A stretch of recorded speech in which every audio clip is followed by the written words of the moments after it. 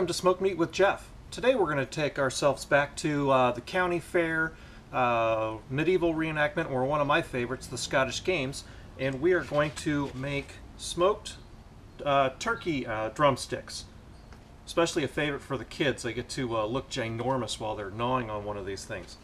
Uh, this is a, a fairly easy um, recipe to make. It takes a little longer than chicken, roughly four hours on the smoker, uh, but it's very early in the morning and I haven't even started the smoker yet.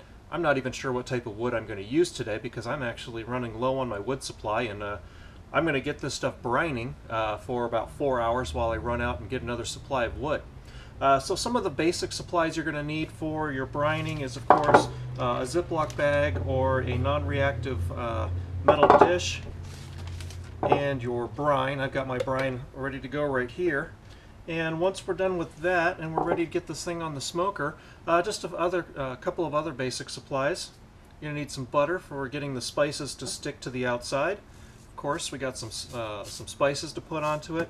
And then uh, towards the end of the cooking process, I'm going to glaze this in some homemade barbecue sauce. Uh, if you want to know how to make this, check out my uh, Guinness barbecue sauce recipe and of course uh, a little silicone brush for applying that. So uh, I'm just going to get this stuff brining, throw it into the refrigerator, and uh, head off to get my new supply of wood, and then we will be back to uh, get this thing onto the onto the smoker.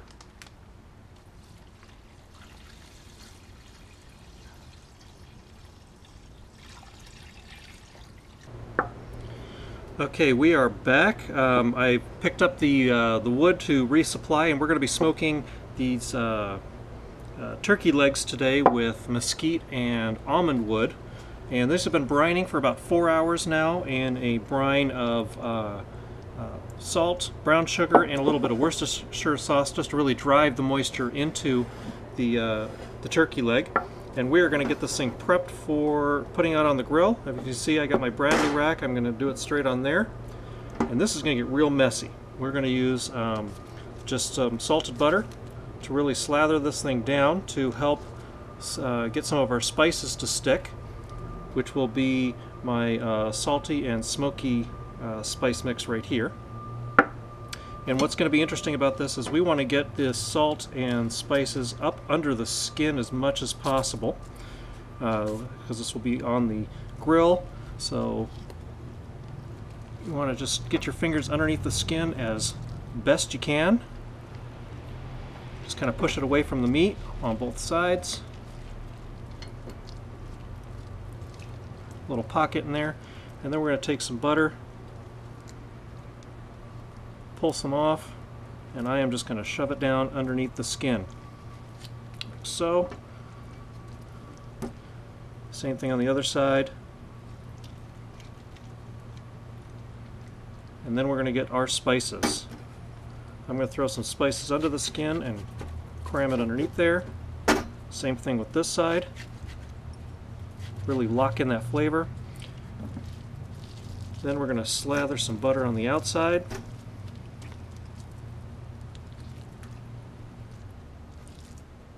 And this makes a big old mess, so make sure you have a towel handy for cleaning your hands when you're done.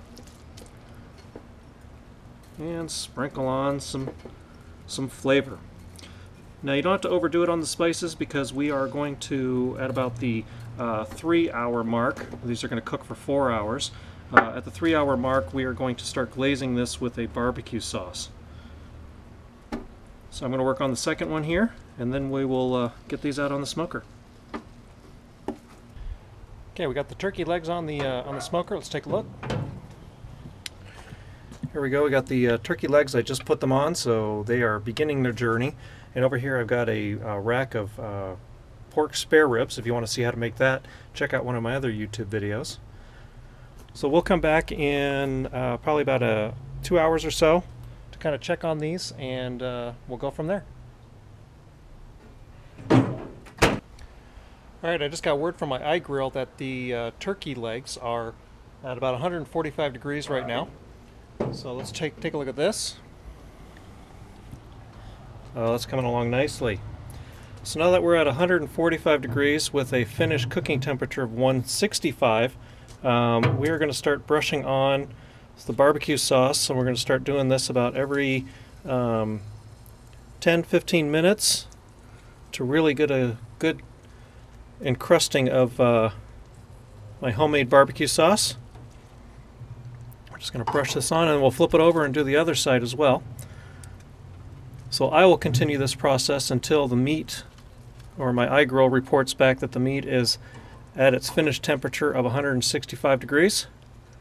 And then it'll be time to uh, try these bad boys out. And as you can see over here, I've got the uh, the pork ribs that I'm outlining in one of my other um, uh, videos wrapped up in foil. That's the second part of cooking that uh, to really lock in those juices. So let's check back in in a little bit. All right, we're going to throw on a little more uh, barbecue sauce now. And while we're at it, um, oh man, look at that, it's coming along nicely. While we're at it, we're coming down to the finish line here on this. We're at about 150 degrees right now, so uh, finish temperature, internal temperature is 165 for these things. So I'm going to up the temperature of the smoker, get it up to around 275. So we're going from 250 to around 275 um, and keep it under 300 degrees for the last little bit of this to really um, caramelize the uh, the outer skin here with the barbecue sauce and crisp it up. So we're getting real close to pulling this off the, off the barbecue and having dinner.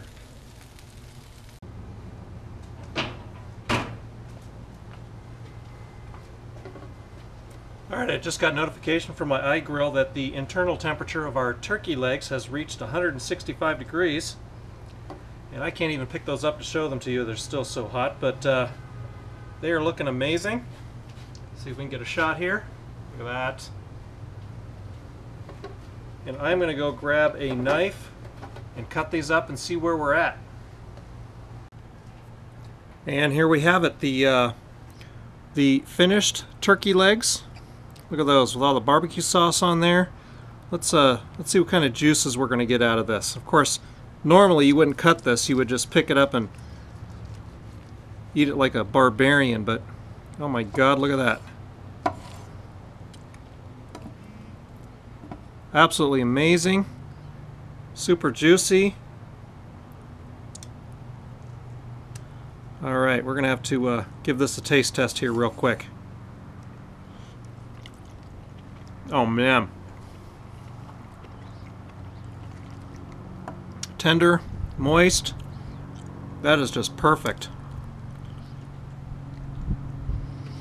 All right, so this is uh, Jef with Smoked Meat with Jef, and there's your smoked turkey glazed with my homemade barbecue sauce. Until next time, uh, have fun on your smoker.